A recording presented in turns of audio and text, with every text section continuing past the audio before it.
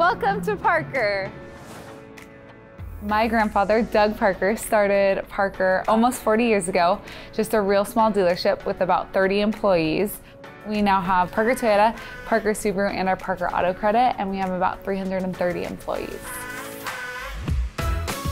It's a really, really special place to work, and the people are what make it that way. We have a lot of employees that have been here a long time, and I think that just ties into everything our culture, how we treat employees, it's a fun environment. Every day you get to come in here, see your friends, and just take care of people. If you're a little bit down, you can find somebody and they're gonna put a smile on your face and put you back in mode, and uh, we just have fun here.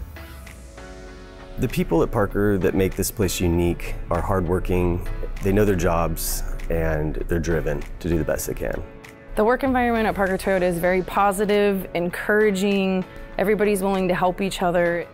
There's a lot of different departments inside the company and everyone works closely together and is a tight team, so it's a pretty cool environment to work in. The Parkers have high expectations, but they give you the tools to be successful here.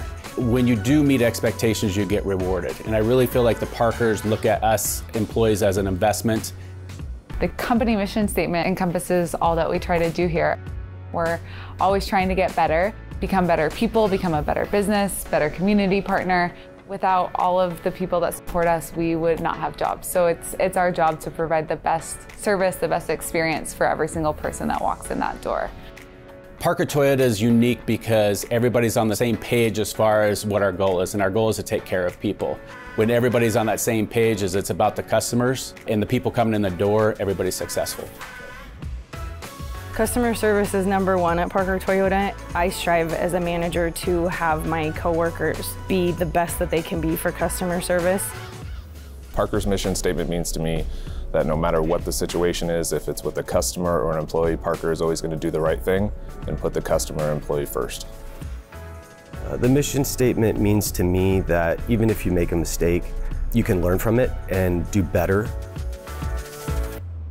what do I think the future looks like? We're going to continue to take care of our employees, to in turn take care of our customers, and continue to be involved in the community at the highest level that we can.